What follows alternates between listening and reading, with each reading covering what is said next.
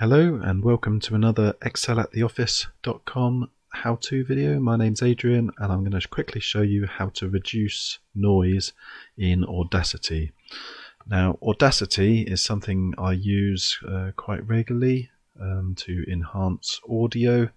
One of the, the most common thing I do is try and remove background noise. However, I've noticed that it's really hard to find simple instructions for this common um, need for enhancing audio.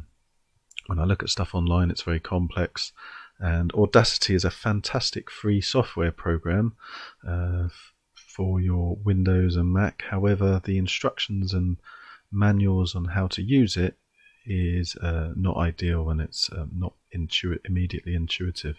So let's get to it. So the first thing I'm going to do, uh, what you'll notice here is a is an audio file I've got open already.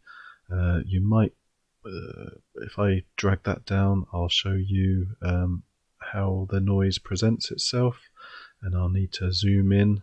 So this is um, a talking audio file.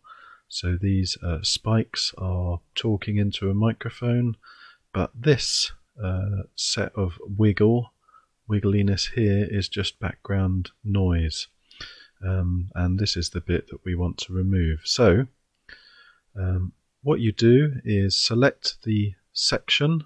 First step, select the section that you want to remove. Second step, go to um, Effect, Noise Removal and Repair, and Noise Reduction. And before we reduce anything, we get the noise profile. So what we're doing is selecting the noisy bit one or two seconds of background noise so that you're telling Audacity this is the bit that I don't like um, on the get noise profile. Now we go to select all, go to effect, back to effect and noise removal and repair, noise reduction, uh, and now we're going to tweak the sliders to actually so we've done step one. Now we're going to do step two to actually re remove the noise. Um, so you can choose your uh, the decibels are somewhere between 12 and 14 is fine so that you're not affecting the rest of the audio so much. Again, you can do sensitivity. Generally around 6 is good and frequency smoothing bands around 3 or 4, possibly 5. Uh, but play about with it.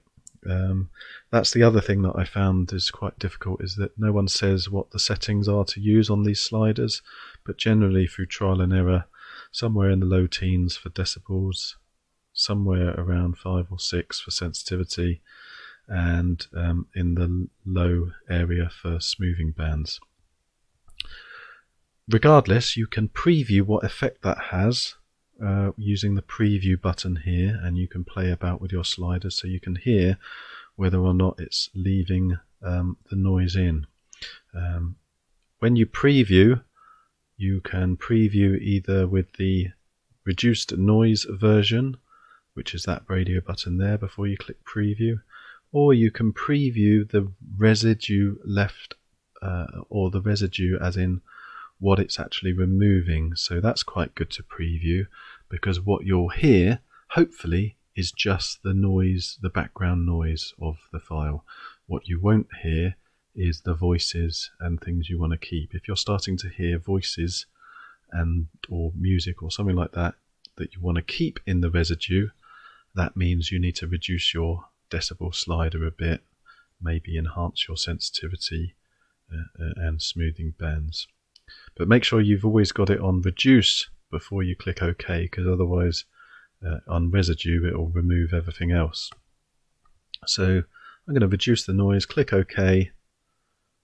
Look at that. See that section now? It's not so wiggly and squiggly. So when you play the audio, uh, particularly voice audio, if you've recorded it in a um, recorded some audio outside where there's background noise of traffic or or just a hum as I've um, learned on my laptop when you plug something when you plug your charger in on a Mac and you try and record audio you'll get a background hum uh, which I'll share the video on this. Um, now that's nicely gone, and you can uh, export your audio as normal. So that's how to reduce noise in your audio in Audacity. I don't normally cover Audacity or other programs, but I thought I hope you found that helpful. Um, I'll put a blog on this soon as well to outline the steps on my blog, uh, excelattheoffice.com, or uh, shorter version, eato.blog, E-A-T-O dot blog. And I'd very much appreciate it if, along with the usual kudos of um, like and subscribe on YouTube, uh, uh, very helpful if you could uh, contribute a coffee to help with the website fees. Uh, I do this in my spare time and own expense to put this information online for you. So if you can afford to, I'd very much appreciate that. And let me know in the comments uh, how you found this video and whether it helped you. Thanks for your time and take care.